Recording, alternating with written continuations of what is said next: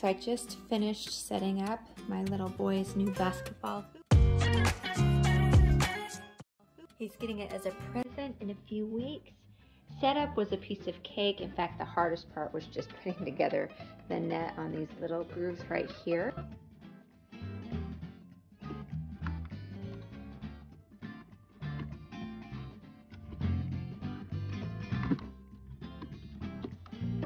Comes with three basketballs, just like this.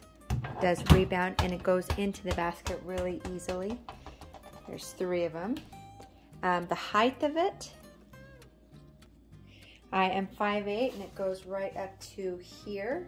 So really it is just right for my little three-year-old but I think he'll be able to use this for a couple of years. The instructions say to add 40 pounds of sand to this section back here, so that will definitely help keep this from wobbling and keep this more sturdy. The quality feels good though. It's lightweight, easy enough to move. I think it's perfect for a little toddler or preschooler who wants to play basketball.